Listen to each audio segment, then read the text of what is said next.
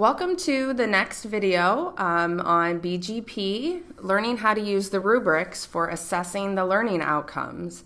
So here we are in our um, active class shell with our students in it. We have our BGP assignment that we imported from the BGP template. Um, currently it's unpublished. And now we are ready um, to fill out the rubric that we've imported. So we need to publish this. So now it's green, it's published. The students have turned in this assignment. We have grades for all of them. And so we're going to click on this assignment. Um, here's the rubric down below, and we're going to assess them on social and behavioral learning outcomes one through five this and we have the rubric put in here. You can see over here that there are no points associated with any of these learning outcomes. These are data points on whether the students did not meet our expectations, they met our expectations, or they exceeded. Um, it is up to each department to determine what the zeros, ones, and twos mean. Typically, um, people will do this based on grades that A's exceed expectations, B's and C's meet, and D's and F's do not meet expectations. So you will want to check with your department chair or course coordinator to know what the parameters are for what constitutes a 0, 1, and 2. That was part of your BGP proposal. If a student did not turn in an assignment, they do not get a rubric completed for them because um, if you give them zeros for that, that's a false negative. We don't know. If they would have turned in the assignment, maybe they would have exceeded our expectations. So when you get to their name, you just skip over them. You don't fill them um, a rubric out for that student. So we're in the assignment. We're going to come up here to the right to the speed grader function. Click on speed grader. Our first student is loaded. We're going to click right here. Uh, you can see it's out of zero.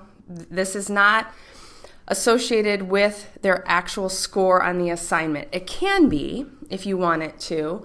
Um, certain departments, um, especially if you are teaching this um, at the high school level, you may want the assignment to be upgraded or uploaded within Canvas so that the folks here at BGSU have a copy of it. For the purposes of BGP assessment, we do not need the assignment uploaded along with this rubric. However, if your course coordinator or your department chair wants it uploaded into Canvas, that's something you need to determine. For the purposes of BGP, we just need the rubric. We do not need the assignment. Okay? Um, so we click on View Rubric, and you can see here SB 1 through 5, and there's a 0, 1, and 2 for each one. So for each student, you have to go through and click on each learning outcome. So let's see, let's say this first student got an A on, on her assignment.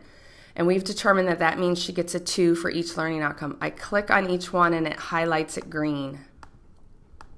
So she gets a 2. And once I've clicked on each one of those, I hit save.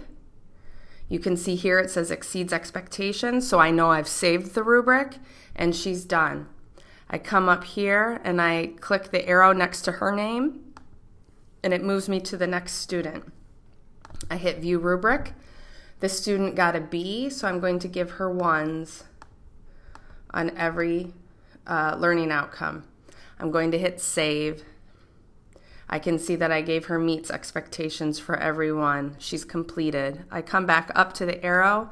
I go to the next student. This student did not complete the assignment, so I'm going to skip her and move on to the next student.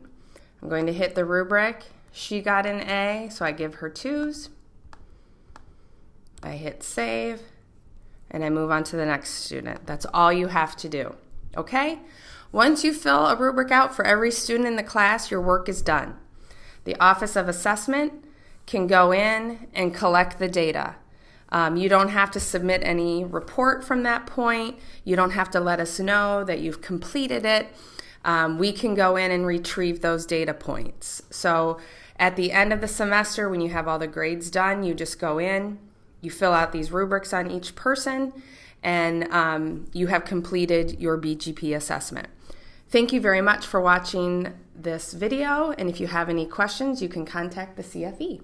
Thank you.